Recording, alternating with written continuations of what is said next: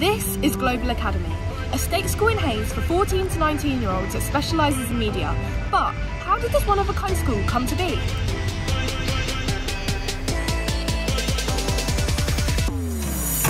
It all started when the mainstream media company Global decided that there wasn't enough young talent walking through their doors to work with them. So to fix this, they decided to open a school that taught students everything to do with the media industry.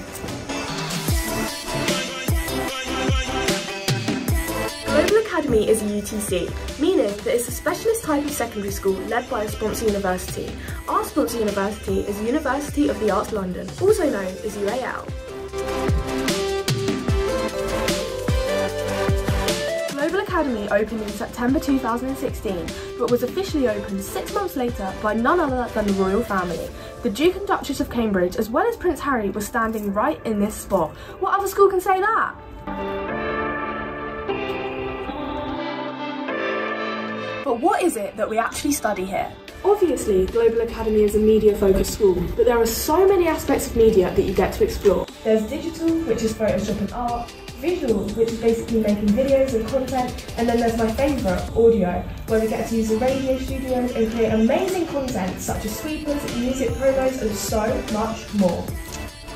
Speaking of radio studios, Global Academy even has its very own radio station called Youth Choice, created by students in 2018.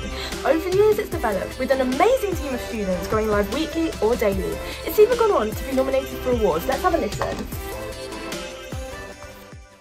This is Youth's Choice. Hey, it's me, Anusha, back again on Youth Choice for the lunchtime show. Hey guys, it's me, Gemini here on Youth Choice to welcome you to the afternoon. Thanks to Anusha for the lunchtime show. As always, it was amazing. And This is the Youth Choice Morning Show. I am Mark with you for the next hour. Good afternoon. This is T.S. Michaels here with you, giving you your daily dish of the freshest hits here on News Choice.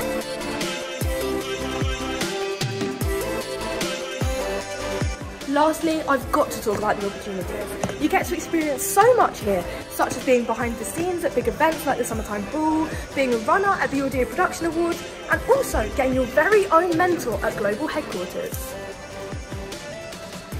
Global gives exclusive apprenticeships to students at the end of year 13, and some former students have gone on to do massive things. So, Global really achieved what they wanted in passing their passion for media on to future generations. This place really is one of a kind.